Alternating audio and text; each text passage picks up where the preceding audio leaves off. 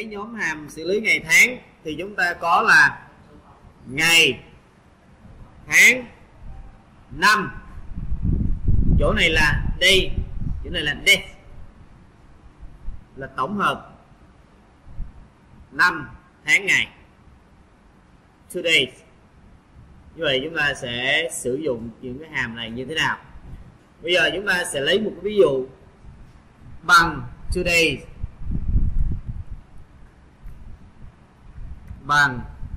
Today mở ngoặc và đóng ngoặc hàm này là nó không có đối số. Cho chúng ta là ngày hiện tại, ngày tháng năm hiện tại. Vậy, bây giờ nếu chúng ta hỏi là hôm nay ngày mấy? Cái ngày thôi. Thì chúng ta sẽ bằng days là ngày của cái ô mà chứa kiểu ngày là ngày 23 tháng.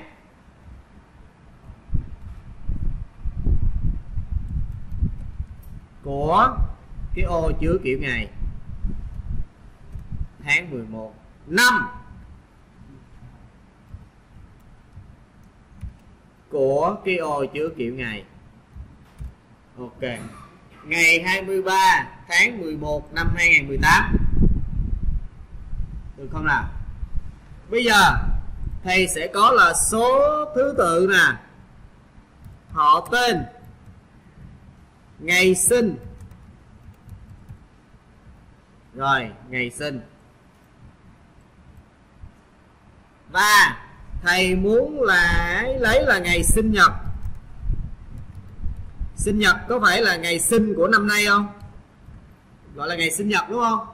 Đấy rồi số thứ tự một. Họ tên là Nguyễn. A. Ngày sinh. Giả sử như bạn này sinh là ngày 12 tháng 4 năm 20 à, 2000 đi. Ok. Bây giờ mình thêm cái nữa là năm nay bao nhiêu tuổi? Bao nhiêu tuổi các bạn? Làm sao biết 18 làm sao biết 18 lấy. Lấy năm 2018 vậy sang năm bao nhiêu tuổi? Như vậy mình không lấy năm 2018 mà mình lấy năm hiện tại.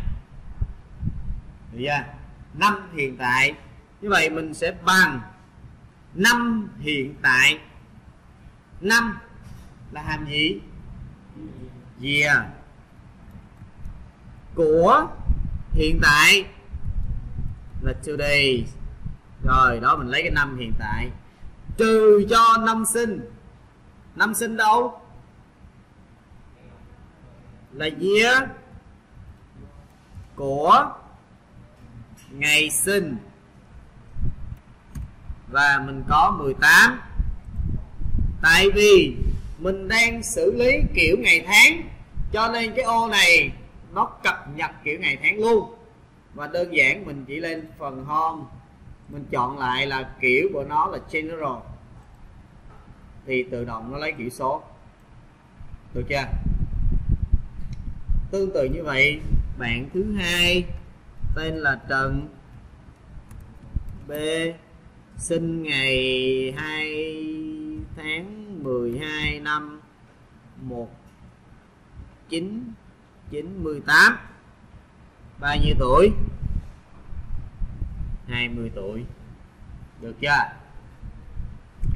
Bây giờ, sinh nhật. Năm nay sinh nhật ngày mấy? Ngày 12 tháng 4 năm 2018 đúng không? Vậy thì làm sao để có được cái ngày sinh nhật ở đây? Ngày 2 ngày 12 tháng 4 mình lấy được không? 12 ở phía trước. Tháng 4 lấy phía trước. 2018 lấy ở đâu? Today. Ok. Như vậy thì làm sao để mình kết hợp lại? Trước tiên, thầy sẽ cho một ô là ngày nè một ô là tháng nè, một ô là năm nè. Để mình ghép. Cái trước này bỏ đi. Bây giờ mình lấy ngày, tháng. Để mình chuẩn bị, để mình ghép thành cái ngày sinh nhật á. Năm. Ngày thì có phải là bằng đây của ngày sinh? Là mình có được ngày. Tháng, mình. Của ngày sinh, mình có được tháng. Năm, bằng gì? Year của của ngày sinh hay là của gì? Sinh nhật là của năm nay mà. À của today. Hai, dấu ngoặc nha. Today là 2018 bây giờ mình sẽ ghép lại ngày sinh nhật của năm nay là, các bạn dùng hàm text cái gì trước? Năm trước, năm. Rồi đến gì? Tháng. Rồi đến ngày. Như vậy, mình đã có sinh nhật năm nay là ngày 12 tháng 4 năm 2018 được không? Trong trường hợp mà mình không có ba cái ô này, mình làm được ngày sinh nhật không? Trong trường hợp mà không có ba ô này, không chuẩn bị ba ô này, làm trực tiếp luôn ha. Thì bằng cái gì? Date.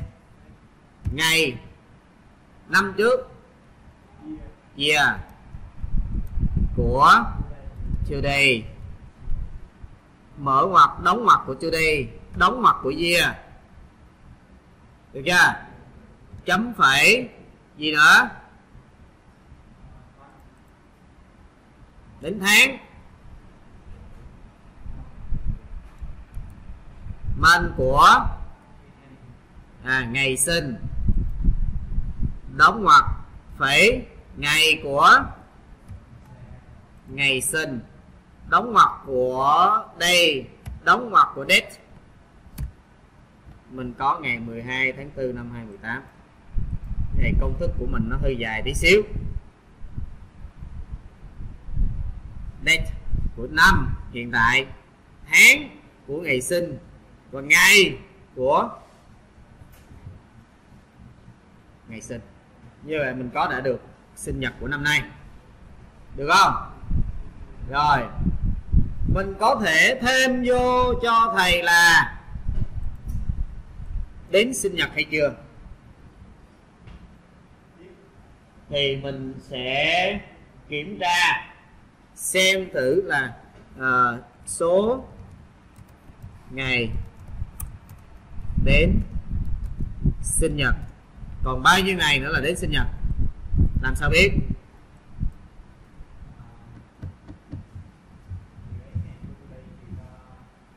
À lấy today trừ cho. Ngày sinh nhật, đúng rồi. Bằng.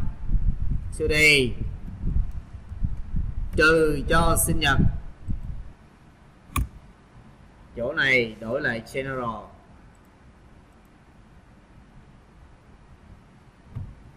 Today hôm nay là tháng 11 mà sinh nhật là tháng 4 225 ngày là ở đâu ra. Phải là sáng.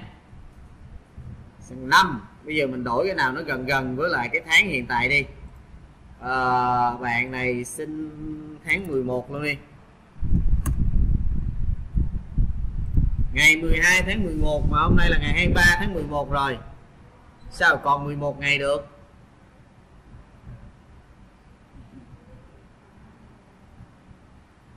hôm nay ngày 23 rồi. Bằng today, trừ cho ngày sinh. Nếu vậy thì chỗ này mà là mình làm ngược lại, bằng ngày sinh. Trừ cho today nó ra gì?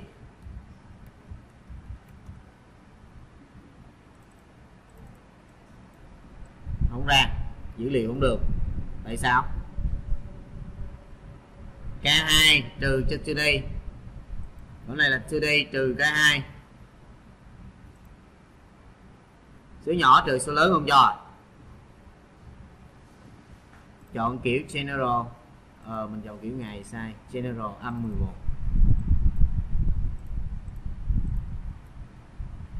ừ. vậy ngày nào từ ngày nào? Cái nào đúng? Cái âm mới đúng bởi vì ngày sinh nhật qua rồi? Đúng không? Ngày sinh nhật qua rồi? Như vậy thì nó là ngày âm đã qua 11 ngày rồi. Như vậy phải lấy cái ngày sinh nhật trừ cho cái ngày hôm nay. Thử nè. Ví dụ như là bạn này sẽ sinh không phải là tháng 11 mà là tháng 12 tháng 12 thì còn 19 ngày nữa, đúng không?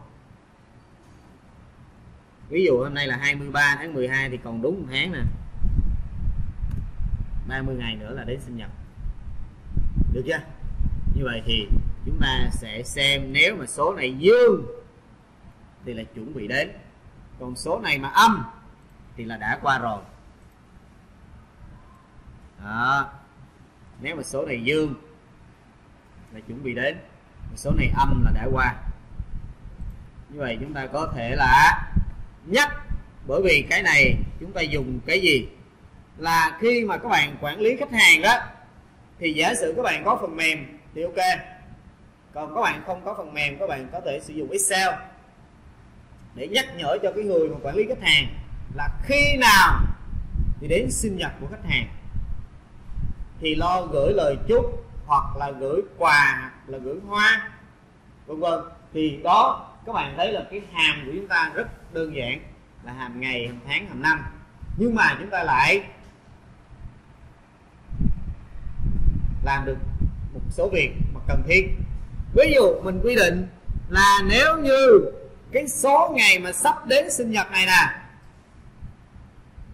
mà nhỏ hơn bằng năm thì nhắc là chuẩn bị tặng quà. Ví dụ vậy, chỗ này mình để chữ tặng quà.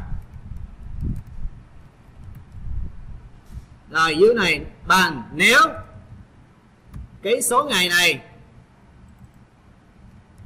số ngày này mà nhỏ hơn bằng 5 thì nhắc là sắp đến sinh nhật.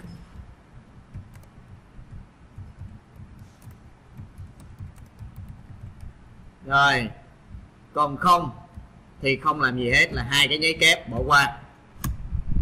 Đó, cái bạn này 30 nè, bỏ qua nè.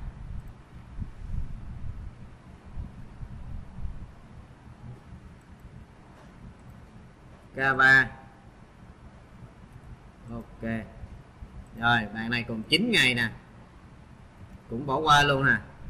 Bây giờ mình sẽ đổi lại để cho nó à, sắp đến đi. Ngày 23 ngày 26 25 gì đó tháng 11 đúng không? Sắp đến sinh nhật. Như vậy là các bạn có thể biết được là ai sắp đến sinh nhật ai không? Để mình biết mình tặng quà. Được chưa? Như vậy các bạn thấy là chúng ta sẽ sử dụng những cái hàm rất đơn giản để chúng ta làm một bài tập như thế này. Như vậy các bạn ghi lại cho thầy thứ nhất là mình tính được ngày sinh nhật. Mình không cần đến ngày tháng năm này nha. Không cần.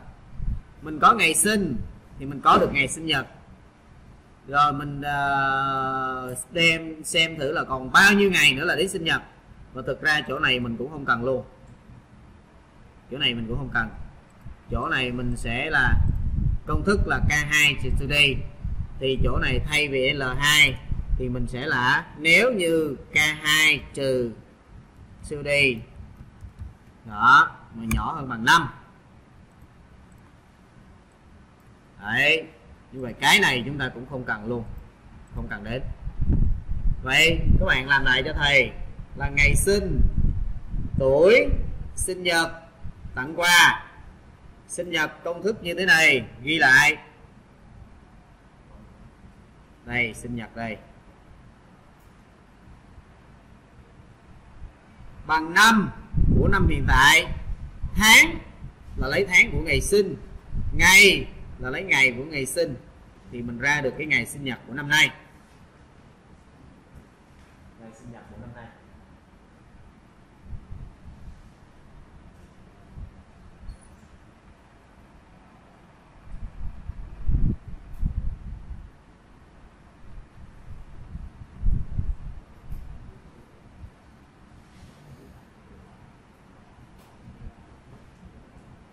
Được chưa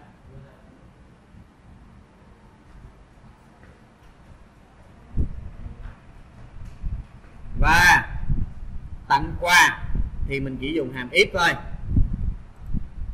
Nếu như mà sinh nhật mà trừ ngày hôm nay nhỏ hơn bằng năm thì sắp đến sinh nhật.